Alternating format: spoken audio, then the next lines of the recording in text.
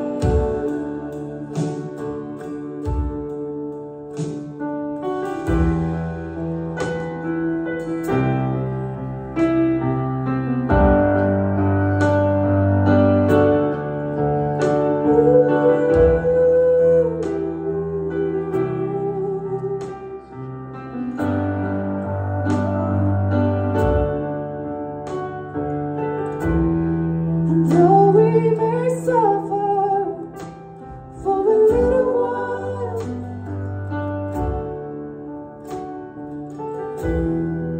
may we rejoice as Christ is revealed through the trials.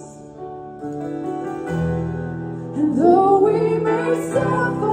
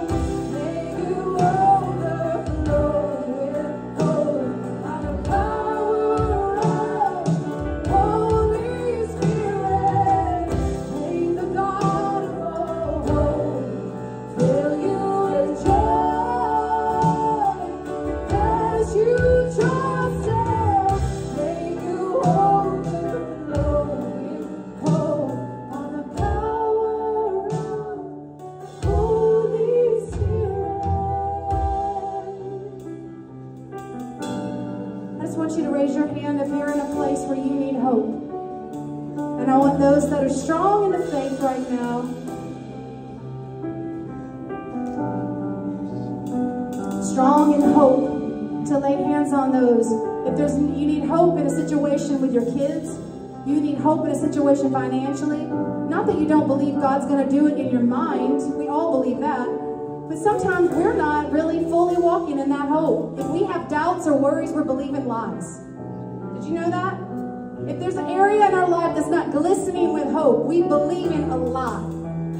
I'm going to say that again. If there's an area where you're not glistening in hope, then there's a lie that you've held on to that the enemy's trying to put in your mind. So if there's an area where that is the case, I'm going to ask you to raise your hand if it's healing, if it's a situation that you prayed for over and over and over and over and over and over. The day is the day of salvation. Today is the day that He wants to break off those cords of unbelief, of doubt and shame, of weariness, of hopelessness. And the God of hope is going to arise in situation that you're facing. Right now, arise.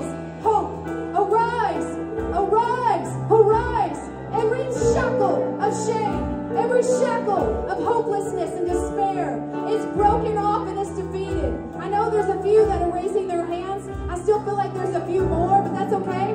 We're just going to contend because I'm telling you that it's not going to contend anymore in your heart when you release it to the Lord, right?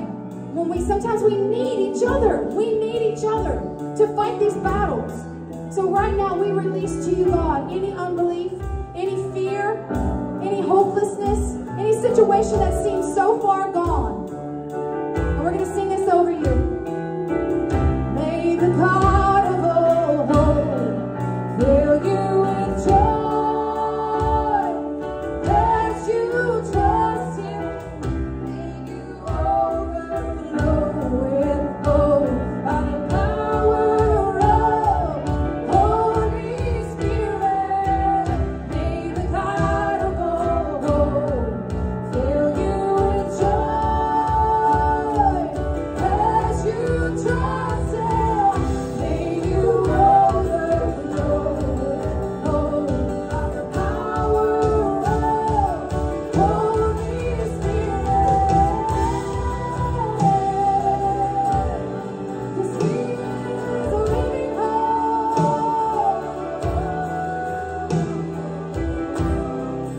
Praise